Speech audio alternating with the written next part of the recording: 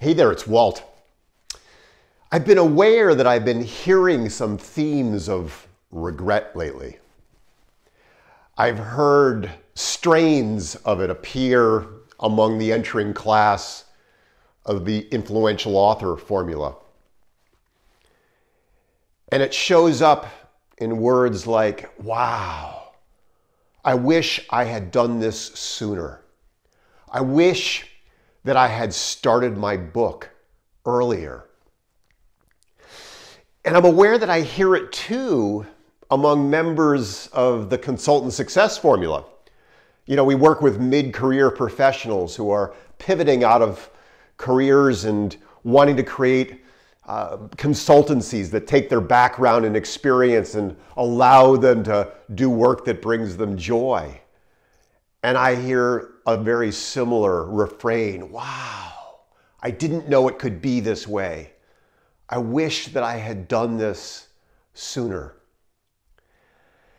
And, you know, regret's a tough thing. You know, tomorrow is promised to no one, and now is all we have. And I think there's something that gets in the way for us around doing that thing that we so want to do. And of course, one of the things that gets in the way is, is fear. You know, our comfort zones are called comfort zones because they're pretty damn comfy even when they're not. And going beyond those places of comfort can be fearful. There's also that pernicious law of physics about an object at rest remains at rest. There's inertia. And I think that inertia piece may be related to why we don't start earlier. But there's another, another troubling syndrome that gets in the way. And I call this SPS smart person syndrome. And the smart person sits around and evaluates the possibilities. Should I start now? Am I ready to start now? Do I have enough training and certification? Do I have enough time? Are my financial pieces in place? Am I ready? Is the time right? Now, I'm not dissing planning. In fact, we teach a lot of powerful planning processes. I think planning is really, really important. But smart people syndrome keeps us stuck. You know, who, who can criticize a smart person if they're evaluating the costs and the benefits, the risks and the rewards? It's, it's really important to do that. But what's true is that there's magic in the starting that when we start out, all sorts of things begin to appear, resources and people and opportunities begin to flow to us. And we actually get to test the ideas that run around our smart people's brains in the real marketplace and get real market feedback to what we've been thinking about.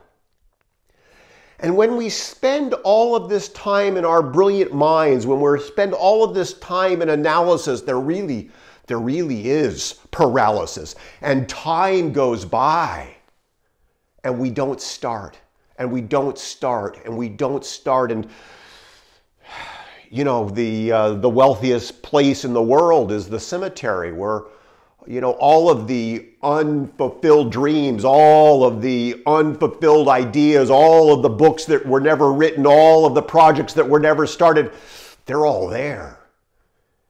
And if we have this sense of wanting to write the book, wanting to start the career, wanting to launch the program or the product, wanting to get that out in the world, that's the call of our hearts speaking to us that's telling us that we have something that we need to get out into the world. And so we have an obligation to overcome inertia, to put aside SPS, smart person syndrome, and to start.